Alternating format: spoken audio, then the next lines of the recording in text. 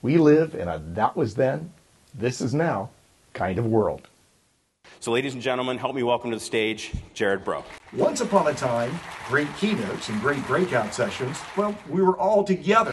It's interesting that we live parallel lives. You in disaster and data recovery, and me watching disasters happen all my life. But now, great keynotes and great breakout sessions are all being delivered virtually.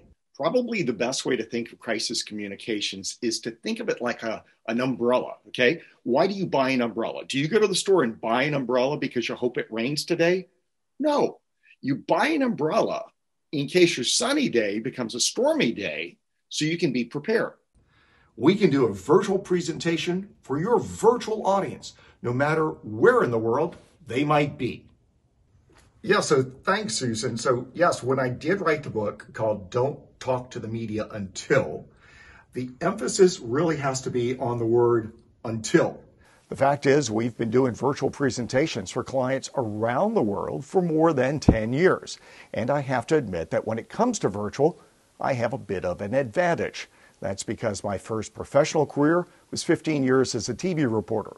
Lake Pontchartrain is great on a calm day, but when the wind blows and a storm moves in, it kicks up quickly.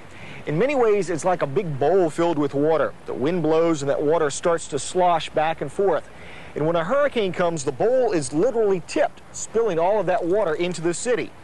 When the big one comes, that could be our worst nightmare.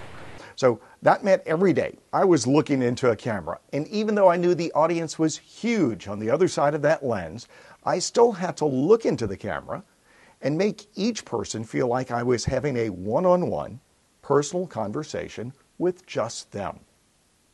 From a technical perspective, our studio is tricked out with everything you need. You can send us a custom backdrop, or you can choose a more casual setting like our podcast studio. Or if you want something that feels more like we're really on stage, we have the custom curtain background. Think of crisis communications in five steps. There are five steps to effective crisis communications. Call us to schedule your virtual presentation today.